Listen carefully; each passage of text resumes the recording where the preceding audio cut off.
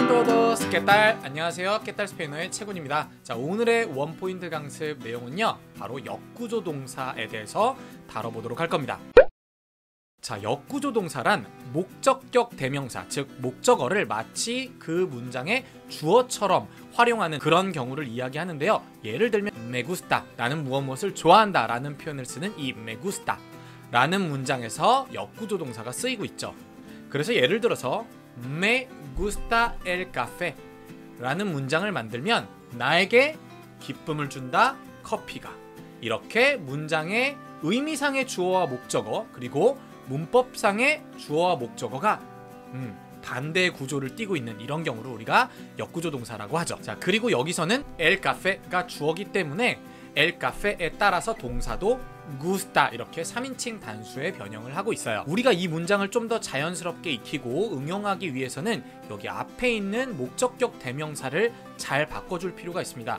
왜냐하면 커피를 좋아하는 사람이 여기에 있는 이 목적격 대명사에 따라서 바뀔 수 있기 때문이죠. 자, 이렇게 me, te, le, nos, os, les 간접 목적격 대명사를 바꿔서 커피를 좋아하는 그 주체가 되는 사람을 바꿔볼 수가 있겠어요. 그러면 me gusta el café, te gusta el café, le gusta el café, nos gusta el café, os gusta el café, les gusta el café. 자 이렇게 우리가 좋아하는 대상이 el café처럼 3인칭 단수라면 gusta라고 바꿔주면 되죠.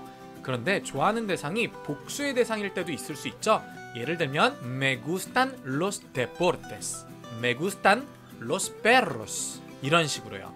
이런 경우는 los perros, los deportes 이런 단어들이 복수이기 때문에 이 주어가 되는 복수의 명사들에 맞춰서 gustan 동사가 어, 3인칭 복수 형태로 변화를 해줘야겠죠.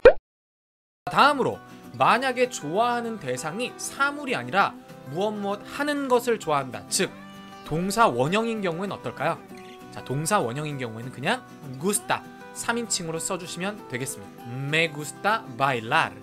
Me gusta tocar el piano. Me gusta beber. 이런 식으로요. 자, 여기까지는 여러분들이 많이 연습을 해보셔서 크게 어렵지는 않을 거예요.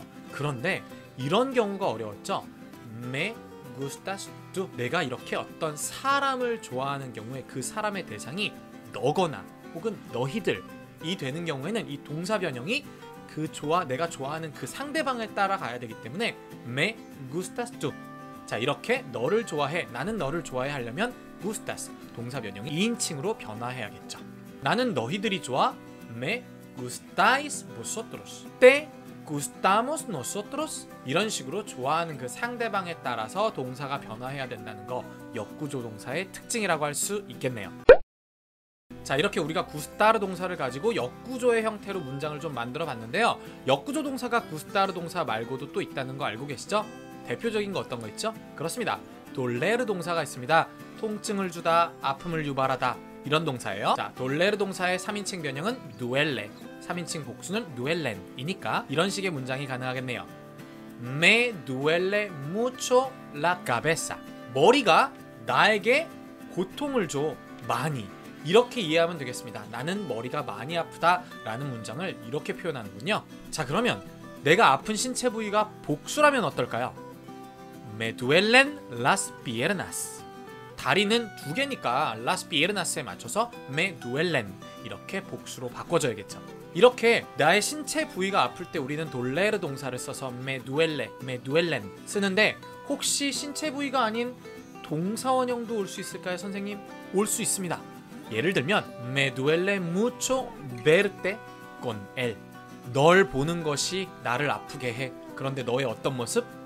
él. 그와 함께 있는 널 보는 것이 나를 아프게 해. 어, 이런 슬픈 문장도 만들 수 있겠네요. 자, 마찬가지로 이번에도 유의해야 될 인칭 변화를 한번 해보자면 이렇게 될 것 같습니다. 내가 머리가 아플 땐 me duele la cabeza. 너 머리 아프니? te duele la cabeza.